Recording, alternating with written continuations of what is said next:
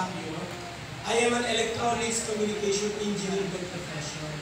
Na-practice ko po yung pagiging engineer ko, pero sometime in 1999, I was invited sa ganitong klaseng business.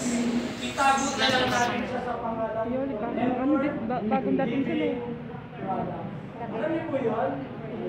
Doon po nagsimula ang journey ko sa hotel level 1 Wala po ako masyadong kinita doon, pero good news, big po ako natuto talaga about hotel level 1 And yung mga sumunod kong company na pinuntahan ko, doon na po, dahil knowledgeable na, natuto na sa forever, no? ang tawag po namin dyan, forever university.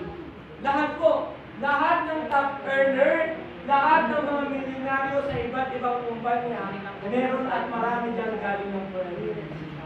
Okay, I've been doing this for the past 26 years. Dalawamput-anim na taon ko na pong ginagawa yung bilog-bilog. Yan, bilog-bilog, 26 years ko na pong ginagawa yan. And me, my wife, have decided sa panahon na para tayo naman yung ah, maging may-ari. Bakit? Kasi dati nakakatulong kami, oo. Nung kami po ay ahente, nung kami po ay member, nung kami ay distributor, nakakatulong kami, oo. Kaya lang hindi full blast. Kasi may mga desisyon na hindi po namin hawak. Kaya we decided to put up a company to make, to, to formulate a product, product, po, and to create a powerful marketing plan na makatulong po sa marami nating kababayan sa loob at labas ng Pilipinas. Okay? And we are very thankful Huwag mo na yung pera, no? Mamaya natin pag-usapan yung kita. We are very thankful for the past one year and few months. Ang dami na pong natulungan ng may sakit nitong produkto na to. This product is very, very blessed po talaga. No? Kaya thankful tayo sa Panginoong Diyos kasi binigyan tayo ng wisdom para makapag-create ng products. Nagsimula po tayo, pinanganak ang kumpanya during pandemic, during lockdown.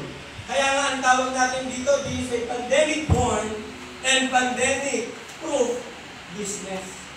Nakakatuwa kasi during during nung lockdown, takot na takot tayo sa Delta. Somewhere in Tarlac, no? particularly in Paniki Tarlac, mayroon isang kapitan ng barangay. Nagtataka kami kasi kung humapot siya ng products natin, etong dalawa, kape at Yapex juice, box box, umorder box box. After one week, umorder ulit box box. Tinanong na nung ating hub owner doon, si Sir Chris, Sir, saan niyo po dinadala? Ba't ang dami nyung binibili? Ba't ang bilis? Yung pala, pinamimigay niya sa constituents niya, bahay-bahay, isang bote nito at isang box ng coffee. At ang feedback ng mga constituents niya, malakas ang katawan nila. Marami pong tinamaan doon. Pero, hindi kailangan magpa-hospital. At ang isang proof po dyan, ang ating isa sa mga grand upline, pag sinabing grand upline, company, sila na. Walang ibang ha? company, grand upline. Okay? Andito po si Ma'am Myla, no? si Gio Myla, si grand upline Myla. May kwento ko lang kami